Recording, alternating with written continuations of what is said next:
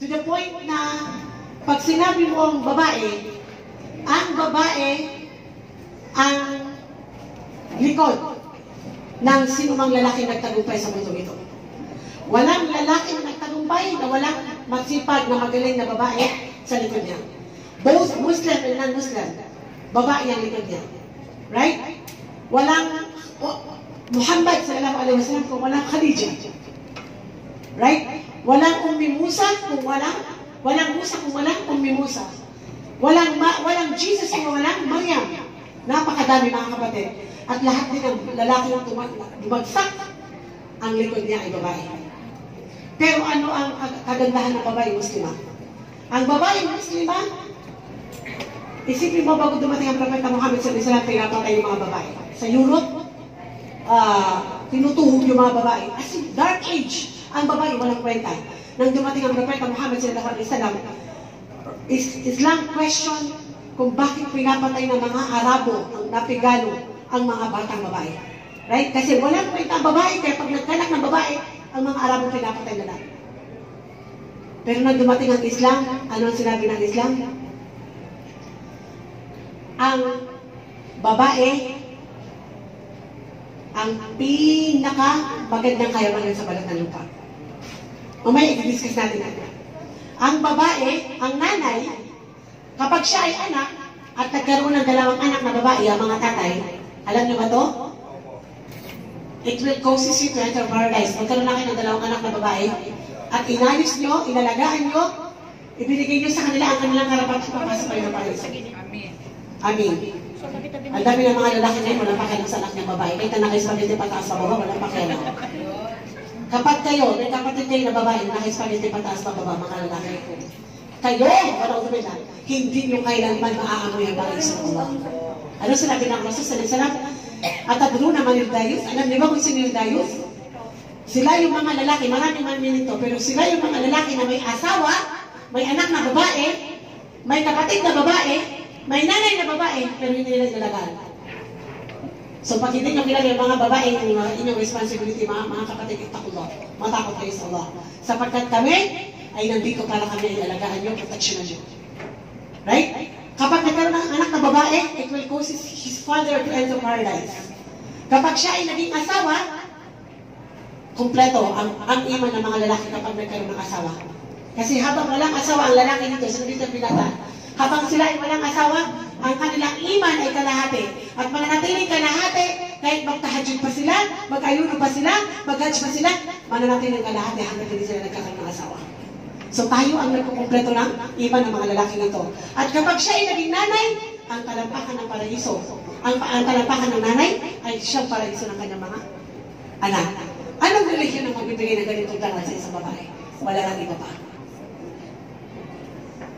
Ang isa sa pinakamaganda, sabi ng Propeta Muhammad sallallahu alaihi wasallam, "Ang dunya umata'un wa khairu mata'uha al-mar'atu salihah." Itong mundo ay punong-puno ng napakaraming kayamanan. At alam natin mga, mga, mga kayamanan natin, napakaganda. Diamonds, pearls, gold, mga minahan, lahat yun ay mga bagay na. Kayamanan sa mundo ito. At ang sinabi ng Propeta Muhammad sallallahu alaihi wasallam, alam mo ba kung sino ang pinakamalaking kayamanan na napapanood sa mundo ito? Siyang babae na tumitinong ang la ilaha illallah sa kanyang puso. Tayo yun mga kapatid. Right? Tayo ang pinakamalaking kayamanan na napapaloob sa mundo ito, kaya kapag nakuha mo babae ito, huwag naman napastanganin. Right? Kasi marami mga lalaki. Porque mag-i-islam ang kanyang asawa, ah, mag-i-islam to, mag-asawa to. Mag-asawa ko ng dalawa, tatlo, apat, lima. Oh! Kasi magsasabar to eh. Magsasabar. May iman. May takot sa Allah. Mag-aasawa ko without even considering the feeling of your wife. Yan, totoo. Binigyan kayo ng Allah ng karapatan. Right? فانكحوا ما طاب لكم من النساء مثنى وثلاث ورباع فإن خفتم أن لا تعدلوا فواحدة Totoo, Pinayagan kayo ng Allah na mag-asawa ng dalawa, hindi pa nga nag-umpisa sa isa eh. Nag-umpisa sa dalawa, ng dalawa, tatlo hanggang apat, pero may kanugtong yung dalil. Sa inasistong, pag hindi mo kaya, brother Jude, fawahidatan, mabuti pa yung iisa lang. Ittakullah, matakot kayo sa Allah subhanahu wa. Alam ko na kung gusto nyo mag-asawa na marami, hindi namin kailangan ng permiso. Alam niyo ba yun mga kapatid? Yes. Minsan kasi may nagsasabi pa na, eh kasi sa Islam pwede magkasama-kasama kung kapag pumayag ako ng wife. Ano kalis mo dyan? Huh, Gumagawa ka ng sarili mong dali. No! Whether you like it or not, kakapusin na mag-asawa na marami pwede. Pero, pero, pero, Brother Jude, kung hindi mo kayang itrato ang mga asawa mo ng pantay-pantay, ang sinabi ng Allah, He discouraged. Diniscourage niya yung kautusan. Mag-asawa ka na lang ng iisa lang. Iisa lang. Kung hindi mo itrato ang mga asawa ng pantay-pantay. Bakit? Sapagkat kami nga yung pinakamayamang bag, pinakamalaking kayamanan dito sa mundo. So, pinakamalaking kayamanan, kailangan ba patayin nyo kami ng emosyon? Right? Okay. Literally, lahat ng babae, selosa. Gusto ko malaman nyo na ang kahinaan namin kayo. Reality. Kayo ang kahinaan namin. At mayroon kaming ugali na kapag kami ay nagmahal, ibibigay namin ang lahat. At dahil ibibigay namin ang lahat, takot na takot kami mawala yung minamahal namin. Pero okay lang sana mag-asawa ka ng pangalawa. Importante, pagbalik mo sa asawa mo, mas lalo mo dinoble yung pagmamahal mo sa kanya. Ang problema. Nag-asawa ka ng pangalawa, nakibago, matay ka dyan, matanda ka. Matakot ka sa Allah kapatid. Ang permission, this is a permission. No, hindi wajib sa lalaki na mag-asawa ng apat. It is only a permission. Na kung sa palagay mo, hindi kontento ang isang lalaki sa isang babae, hindi dahil sa gabi. No? Kung hindi dahil sa kailangan mo talaga ng asawa, it's okay. That is your, that is your permission. Pero mayroon criteria ang mga taong mag-aasawa na madami. May criteria. Right? Hindi porque Muslim ka, suna ka ng suna.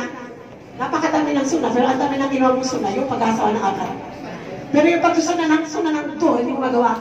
Ang pag-gusto ng tahajud, hindi mo magawa. Paano mo itatrato ng pantay-pantay ang mga asawa mo? So sinasabi ko nga, alam niyo na kayo yung mahina namin. Pag nag-asawa ang asawa ko, automatically, Brother George, hindi ako magpa-party. Kahit ako pa si Kaksali, ako magpa-party. Kung kadar ko na mag-asawa, ang asawa ko na dalawa, tatlo apat, hindi ako magpa-party. Iiyak din ako na katulad mo, sister. Kasi babae ako. Kasi tao ako. Kasi nagmamahal ako katulad mo. Pero ang hindi mo kami itrato ng pantay, matakot ka sa Allah subhanahu. Sabi ko nga, kami mga babae, mo kung gano'n kami kahina. Ito sila sabi ko na sa inyo mga brother. Ang babae, uto-uto yan. Napakahina. Umiiyak yan. Pag ka nagkasawa ng mga. Ipakita mo lang sa kanya na mahal na mahal mo. Wala na lahat ng kanyang iyak. Wala na. Ay, sumala na, mabuti ito. Noong eh, ako lang ang asawa niya, hindi siya malambing. Nung maging dalawa kami, mas lalo siya naging malambing. Wala na gera. Wala na gera. Bakit nagkakaroon ng gera? Kasi nararamdaman ng mga babaeng ito na pag nag-asawa ng pangalawa yung asawa niya, iba na rin ang nakikita niya sa kanya. Kaya sinabi ng Allah, fa ina khiftum Allah ta'dilu fa wahidatan. Kung hindi mo kaya na itrato ng pantay-pantay ang mga asawa mo, mabuti pa yung isa lang. At take note mga kapatid, hindi niya sinabi na eh, pagmamahal ng pantay-pantay. Huwag kang mabulag, sister. Namamahalin ka ng asawa mo at ng pangalaw, pangatlo na luwaya mo ng pantay-pantay. It will never be. Hindi nagawa ng Propeta Muhammad, si Brother Jude pa ang gagawa. Sorry, Brother Jude. Ikaw ngayon na aking kapatid. Bawal ako mag-sample ng isa, baka makalabas ako dito. Right? Imposible mahalin mo ng pantay-pantay ang una, pangalawa, pangatlo, pangatlo. Pero ang sinabi ng Islam, imagine mo, treatment, itrato mo ng pantay-pantay. Kung apat ang asawa mo, siguraduhin mo na alas 7 ng umaga dito, alas 7 din ng umaga sa kabila. Hindi porke matanda na alas 7 ng gabi, Brother June. Matakot ka sa Allah. Right? Kung magbibigay ka ng isang libo sa isa, siguraduhin mo na isang libo din yung isa. Hindi porke bata. Limang libo sa'yo, honey, ha? Punta ka na malapay siya. Kaya mo siya mamatay, matanda na yun. Oh! Matakot ka sa Allah. Right? Wallahi mga kapatid. Malay-malay mga kapatid. Tulungan natin ang ating mga asawa. Kung mayroon man dito na may duwaya, tulungan natin ang ating mga asawa na maging pantay-pantay sa kanyang mga asawa. Huwag mo na gatungan. Kung ikaw ay may takot sa Allah at nakikita mo na yung asawa mo, hindi siya pantay sa inyong mga duwaya mo, i-remind mo siya, Han, Han, Bakit dumarating ka dito ng alas 6 ng umaga? Nalaman ko doon sa pangatlo, gabi ka na dumarating. Han, itakila. Hindi yung, ah, syempre, ako yung una eh. Namatay ngayon yung mga pangalawa, pangatlo, pangapat. Minsan din, hirap na hirap naman yung mga asawa na magkaroon ng treatment ng pantay-pantay. Ikaw pa yung umagatong na babae mo sila. Kasi nakikipagsabayan ka ng pagmamahal. Mga kapatid, tayo ay nabubuhay hindi para sa mga asawa natin. Tayo ay nabubuhay para sa Allah. Ang mga asawa natin ay they're just a gift from Allah. Ngayon, kung mamahalin mo ang asawa mo kaysa sa Allah, kung umiiyak ka, bahala ka sa buhay mo. Right? Sapagkat ang babaeng muslima, walladina amanu asyaddu hubban lillah. Ang totoong mananampalataya, babae man o lalaki, umaapaw ang pagmamahal nila sa Allah. Hindi sa asawa. Kaya minsan, dahil sumusobra yung pagmamahal mo sa asawa mo, tinetest ka ng Allah na magduwaya yung asawa mo para mabuhay ka na, ma- para makita mo na hindi ka nabubuhay para sa asawa mo. Hindi para parusahan ka ng Allah kaya nagduwaya yung asawa mo. Kung hindi para ayusin mo ang iman mo at itrato mo yung relationship mo sa Allah para ma-realize mo that you live only this for this in this world as one with one purpose and this is only to worship Allah, not our husband. So kung talagang alam mo yung purpose mo, Muslima, na ikaw ay nabubuhay para sa Allah, hindi para sa asawa mo, kahit mag-asawa yan ng apat na sabay-sabay, matatanggap mo. Kahit na gaano siya kasakit, matatanggap mo para sa Allah. Hindi magsasabat ka dahil baka iwanan ka niya. Kawawa ka, sister. Depressed ka. Kung nagsasabat ka dahil baka iwanan ka niya, naaawa ako sa iyo. Ikaw ang kasama dun sa mga depressed na mga babae. Kung nagsasabat ka para sa Allah, makikita mo na may magandang mangyayari sa buhay mo. Kung magsasabat ka dahil ito ang pagsubok ng Allah sa iyo, kaya mong tanggapin ang duwaya mo. Tingnan mo kapatid, ako si kakasali, hindi mo ako kaano.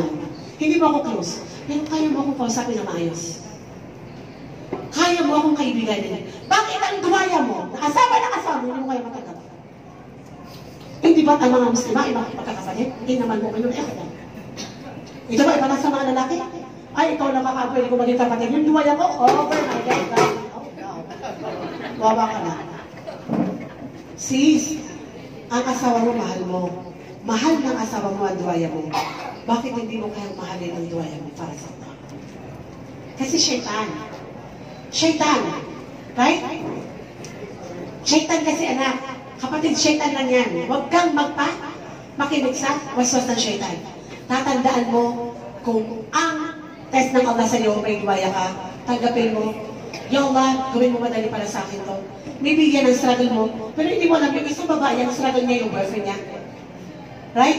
Yung bakla, ang struggle niya, yung gusto niya ng lalaki. Lahat tayo dito nag-struggle. Kanya-kanya lang tayo ng teleserye, mga kapatid. Ang importante, anumang pagsubok ang ibigay sa iyo ng Allah, dumating ka sa tagapaglikha ng minamahal ka ng Allah subhanahu wa ta'ala. So, what, ulitin ko lang. Ang sinabi ng Propeta Muhammad sallallahu alaihi wasallam, Ad-dunya umata'un wa khayru mata'uha al-mar'atu salihah.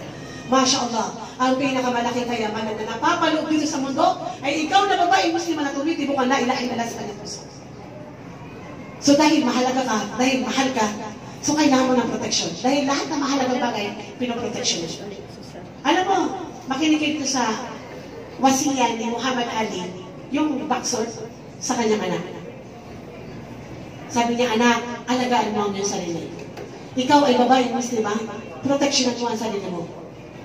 Alam mo ba anak, lahat ng mahalagang bagay, mahirap kunin. Ang diamond, nandun sa ilalim ng volcano, sa ilalim ng cave, nakapatong sa napakaraming bato, bago makuha ng manilisig siya muna nagpakahirap. Ang perlas anak, nandun sa ilalim ng dagat. Ito ay nakakover sa shell as a protection. Right? At bago makuha ng manilisig siya muna ay magpapakahirap. Ang ginto anak, nandoon sa ilalim ng minahan. Tinatakpan ng napakaraming bato bago makuha ng mga nagmiminahan ng isang ginto.